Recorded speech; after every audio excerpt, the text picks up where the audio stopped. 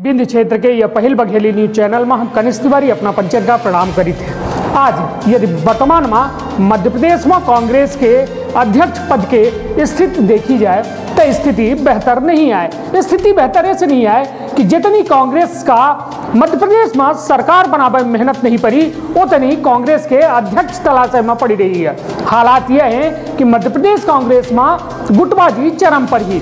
जौने के लेके आज हम मुद्दा लेके आए हैं कि मध्य प्रदेश के नए कांग्रेस अध्यक्ष के खुलासा तीन नए नाम। जी हाँ ठीक सुनन। मध्य प्रदेश कांग्रेस अध्यक्ष पद के खुलासा तीन नए नाम।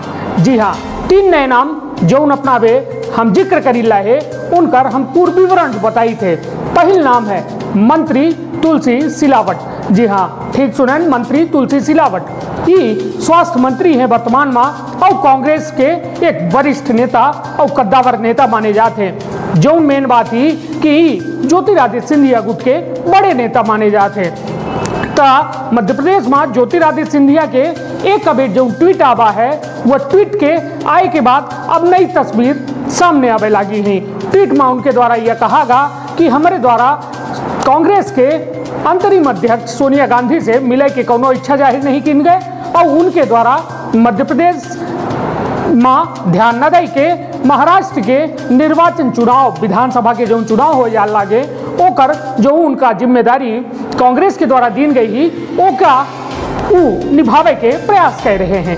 एक के बाद जो ज्योतिरादित्य सिंधिया के अटकल रही, वो आप समाप्त हो गई ही। अब नया नाम तुलसी सिलावट के है। तुलसी सिलावट एक सामाजिक सरोकार वाले व्यक्ति हैं और एक बड़े नेता हैं और मध्य प्रदेश में कमलनाथ के कैबिनेट में मंत्री हैं। और इनके ऊपर जो सबसे बड़ी बात ही कि ज्योतिरादित्य सिंधिया के ठप्पो लगा है। दूसर व्यक्ति जो दूसर व्यक्ति के हम ज़िक्र करी लाए अपना भली भात परिचित हो तो कमलनाथ के मंत्रिमंडल के कैबिनेट के हिस्सा ही और बड़े मंत्रालय के मंत्री वहीं वो वहीं जीतू पटवारी।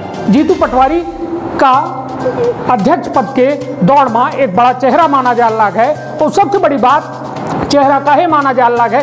काहे कि ई निर्विवादित चेहरा है, युवा चेहरा है, और कौनो गुट से ई ताल्लुकात नहीं रखा था ही जौने का लेके कमलनाथ के द्वारा यह एक बड़ा नाम सुझाव सुझाव में रखा जा सकता है। काहे कि कमलनाथ के द्वारा यदि देखा जाए सिंधिया दिग्विजय गुप्त से बीच से यदि एक रास्ता चाहिए तो वह जीतू पटवारी के नाम का सुझाव रखा जा लाग और यह गुटबाजी खत्म करे के एक बड़ा नाम है।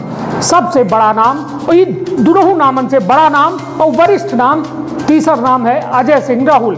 अजय सिंह राहुल मध्य प्रदेश राजनीति के एक बड़ा चेहरा, पूर्व में नेता प्रतिपक्ष जैसा ज़िम्मेदारी का निर्वहन करे वाले मध्य प्रदेश में भाजपा के सरकार में पंद्रह साल में बेहतरीन प्रदर्शन, बेहतरीन विपक्ष के भूमिका निभावे वाले। और अपना का बताए दी, ई पूर्व मुख्यमंत्री मध्य प्रदेश के, जो स्वर्गीय अर्जुन सिंह रहे उनकर पुत्र ही और उनहू के बड़ी दावेदारी सामने अवल लाई सबसे बड़ी बात अपना का बताए दी कि हाल में अजय सिंह के नाम काफ़ी उछल चुका है, किंतु उनके द्वारा बार बार यह कहा जा कि यदि ज़िम्मेदारी दीन जाई तो ओ का हम निभावे के प्रयास करब। तो सबसे बड़ी बात बताई दी कि अजय सिंह राहुल के साथ एक घटना यह हुई गई कि उनके द्वारा चुराहट के विधानसभा चुनाव हार जा पड़ा।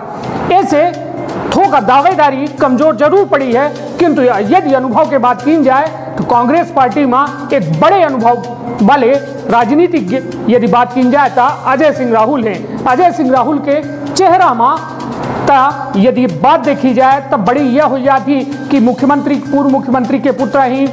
एक बड़ा राजनीतिक इतिहास है, पूरा खानदान रहा। और सबसे बड़ी बात यदि अजय सिंह राहुल के देखी जाए तो बिंद के सबसे बड़े कांग्रेस के कद्दावर नेता वही, जिनकर बिना पद्म रहे के बाद अच्छा खासा समर्थकन के हुजूम रहा है। यह खबर के जो अपना पटिया अभी तक दिखेन एमा जो मुख्य बात ही है कि तीन नाम तुलसी सिलावट, जीतू पटवारी, अजय सिंह राहुल इन तीनों में केखा कांग्रेस का मान सौपति यह देख बड़ा दिलचस्प हुई। आज कमलनाथ के द्वारा सोनिया गांधी जी के पास अपन नाम लेके गए हैं, बहुत जल्द या तीन नामन के बीच में पर्दा उठे के संभावना ही। बहुत बहुत धन्यवाद।